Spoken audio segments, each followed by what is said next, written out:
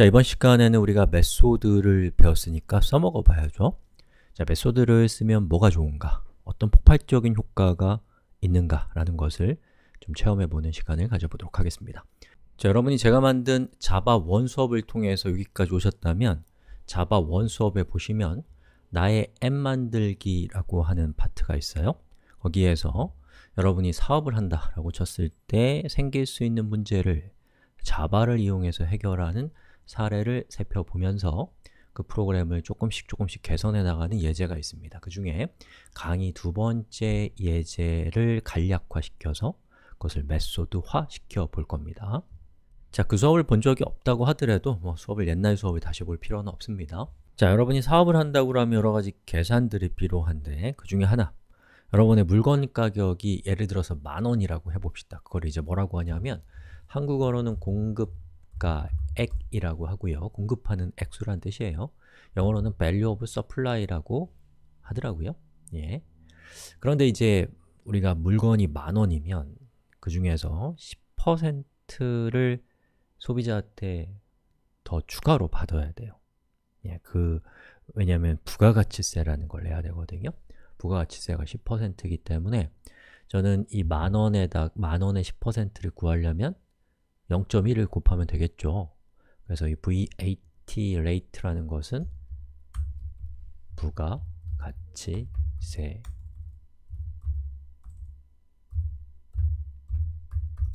율이라는 것이 0.1%다. 그럼 이제 계산을 해야죠. 즉, 부가세는 공급한 금액의 0.1을 곱한 값, 즉 10%라는 것이죠. 그럼 이제 제가 뭘 구한 거예요? 부가세를 구한 겁니다. 자, 그렇게 해서 이제 구한 부가세를 저는 화면에 출력하고 있고요. 자, 그리고 어, 그 부가세와 원래의 공급가액을 더한 금액, 그걸 뭐라고 하냐? 합계라고 하죠. 예, 합계를 또 구해야 되니까 그걸 구하는 공식이 이거예요. 그렇게 해서 나온 토탈을 화면에 출력하는 간단한 앱이에요.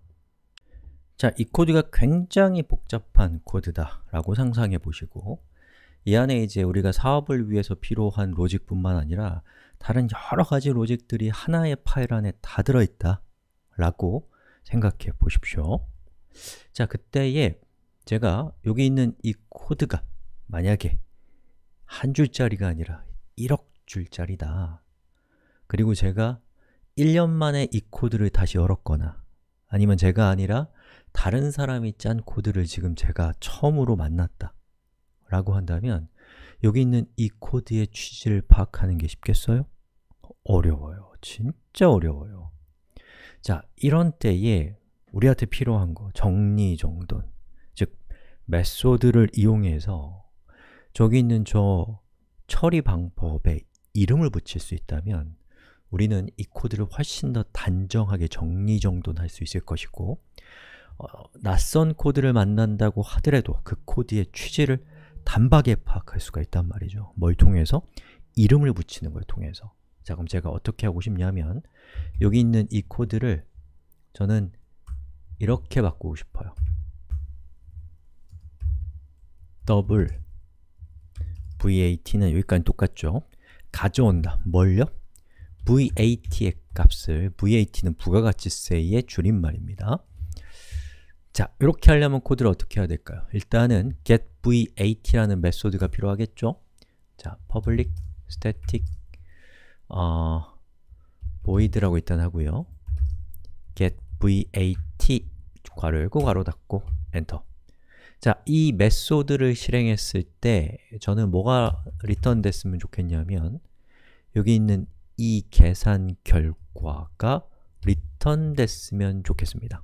자, 이 계산 결과는 값이 뭐예요? double형이죠. 그럼 저는 이 getVAT가 리턴할 값이 double형이라는 것을 여기다가 적어주는 걸 통해서 getVAT를 사용하는 사람들에게 이 메소드는 리턴 값이 double형입니다 라는 것을 만방에 알리는 거죠. 뭘 통해서? 여기 있는 이 코드 값을 통해서 자, 그 다음에 여기 있는 이 코드를 제가 이사를 시켜 보겠습니다. 자, 이렇게 이사를 시켰죠. 자, 근데 에러가 나요. 그 이유는 뭐죠? 자, 이 메인 안에 있는 value of supply와 VAT rate라고 하는 저 변수는 저 메소드 안에서만 사용할 수 있는 지역 변수입니다. 그러면 저 변수를 accounting app이라고 하는 저 클래스 안에 있는 모든 메소드가 사용할 수 있게 하려면 이 지역 변수를 어디로 이사시켜야 되나요?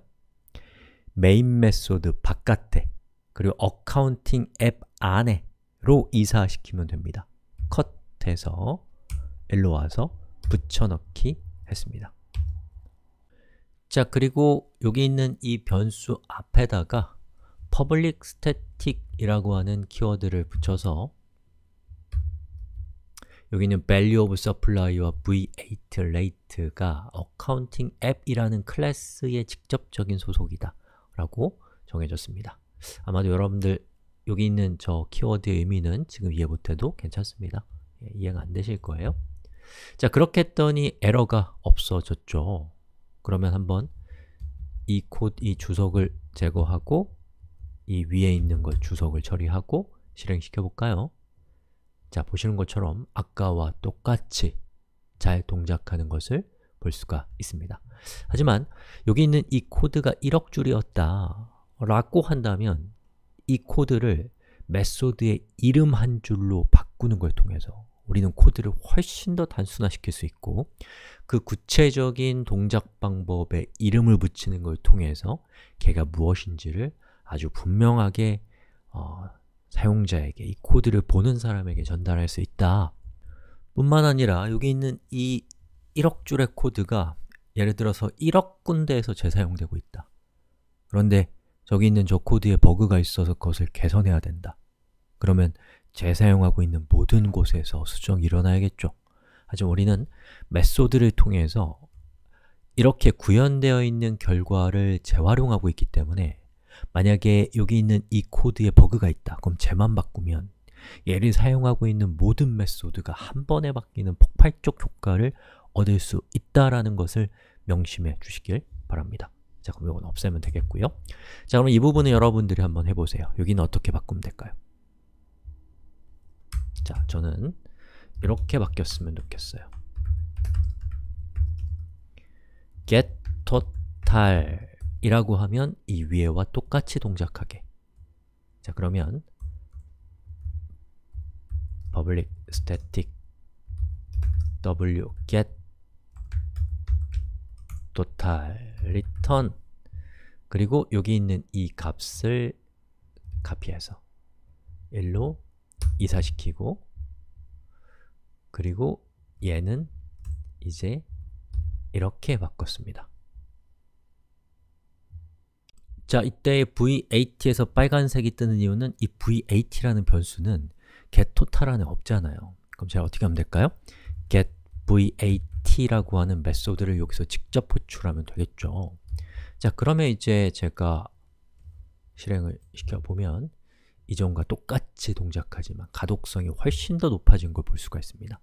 그리고 여기에서 변수를 만들어서 그 변수를 대입했는데 사실 메소드는 어떤 로직에 이름을 붙인 거기 때문에 이런 상황이라고 한다면 굳이 변수를 저렇게 정의할 필요가 없죠. 이것도 마찬가지.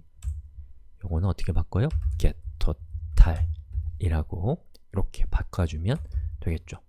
자, 그래서 여러분이 이해하셔야 될 것은 우리가 메소드를 이용하는 걸 통해서 코드의 가독성을 획기적으로 높일 수 있고 그리고 우리가 한 번 작성한 코드를 메소드를 호출만 하면 되기 때문에 재사용할 수 있고 그리고 원래 그 메소드의 본문에 들어가 있는 내용을 바꾸면 걔를 사용하는 모든 곳에서 동시에 수정이 일어나는 유지보수의 획기적인 편의성을 꾀할 수 있다 라는 것을 공감하시고 아 이거 대박이다 라고 느끼시는 것이 핵심입니다. 여기까지 하겠습니다.